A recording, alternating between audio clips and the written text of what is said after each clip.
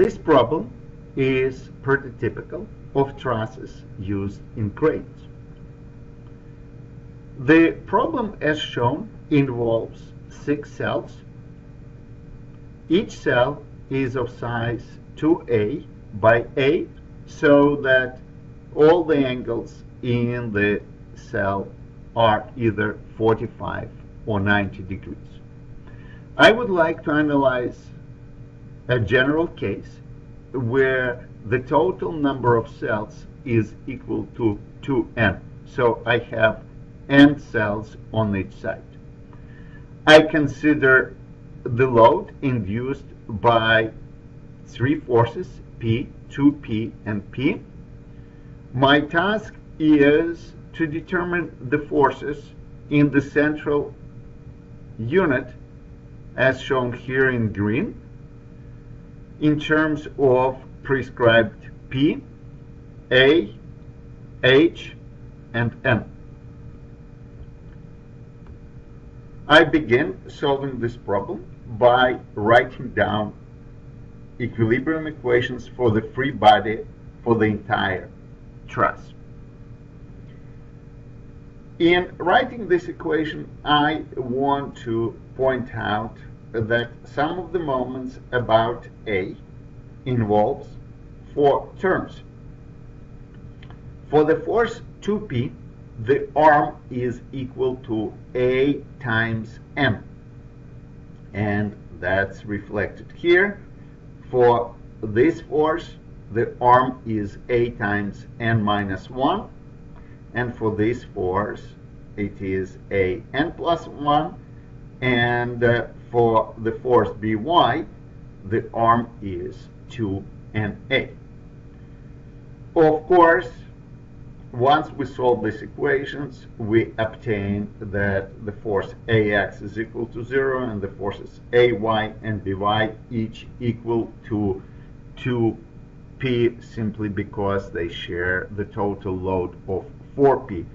So all dependence on N disappears which is again expected. Next, let me consider the following cut shown in yellow so that the free body diagram associated with this cut looks like this. So the cut exposes the forces T1, T2, T3, T4, plus it includes the reaction force at A and the applied load at P. If I write down sum of the forces on X, sum of the forces on Y, and sum of the moments about the point C, I can calculate the forces T1 and T4, which follow from the first and third equations. And then I can find that the forces T2 and T3 satisfy this condition. I should not be surprised that I cannot determine all the forces simply because I started with a free body diagram with four unknowns and I wrote three equations. As a result, I determined two unknowns and the remaining two are related, but we don't know them individually. Let me exploit the symmetry of the problem and draw the free body diagram for the central unit. Here where it involves compression at the top, tension at the bottom, and then the vertical bars are subjected to the forces T2 and T3 as shown. And of course, this free body diagram reflects symmetry. Now what I can do, I can use the previously derived condition, which states that T2 minus T3 equal to P. And I can look at the free body diagram that involves the joints.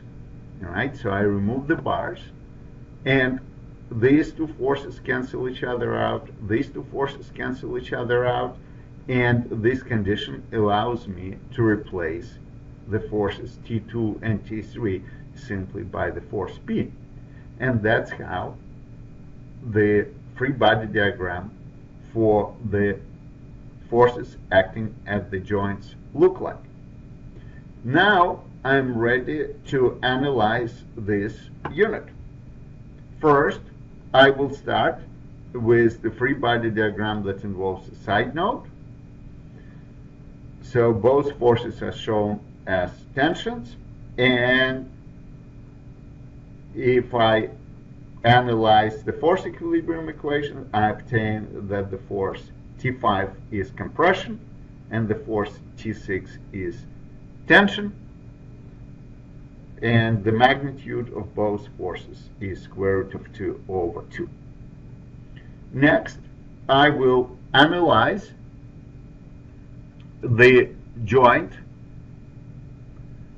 uh, at the top and I know that these two bars are in compression. I have determined the force in this bar. The force in this bar follows from symmetry. The middle bar, I assume that it's tension. After I sum all of the forces on Y, I obtain that indeed it is tension and the magnitude equal to P. Finally, let me check quickly that my answer is correct. So what I will do, I will look at the bottom joint.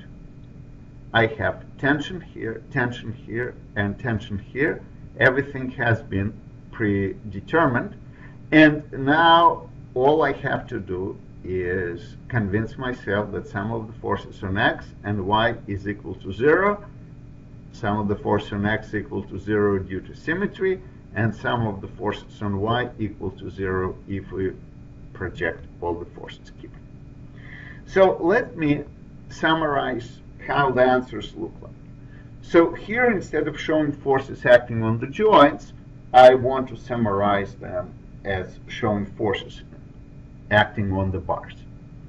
So the bars at the top are in compression, the bars at the bottom are in tension.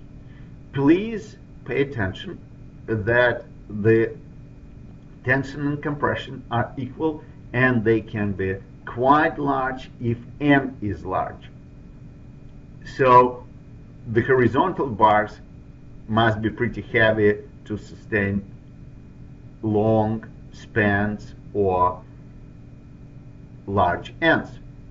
In contrast, the forces in the vertical and inclined bars are not dependent on n, right? We have compression in the upper bars, tension in the lower bars, and the middle bar is in tension. So for large n, these forces remain relatively small, and again, it's a sign of a local action. As the load moves through this, there are these forces engaged that are of the order of P. Also, I want to pay your attention that the forces are not dependent on H or on how much the truss is elevated over the ground level.